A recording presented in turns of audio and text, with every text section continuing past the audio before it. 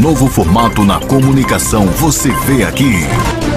Olá, meus amigos, estou de volta aí no bloco anterior, onde eu tinha aqui mandado um grande abraço para toda a família do Augusto César, né, que cobrou aí na internet. Eu também tinha falado sobre um grave acidente que houve nas proximidades do, do Lago Seco.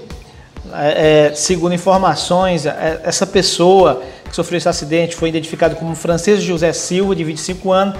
Ele mora aqui em Camusim, no bairro Olinda, e ele conduziu uma moto, uma moto Titan, estava sem usar o capacete quando colidiu é, com essa Hilux.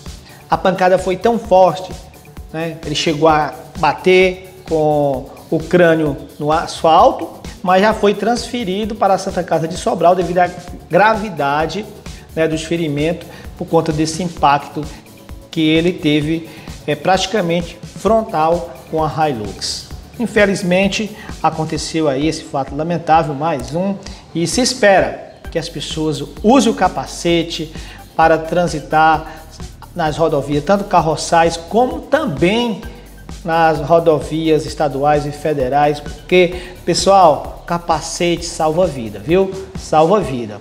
É, infelizmente, muitas cidades aí o pessoal não usa capacete e até mesmo onde há uma, uma lei municipal, onde tem os agentes de trânsito, mesmo assim as pessoas ainda teimam a sair nos seus veículos é, motorizados aí sem o uso do capacete. Infelizmente, a gente espera que ele se recupere, o rapaz aí.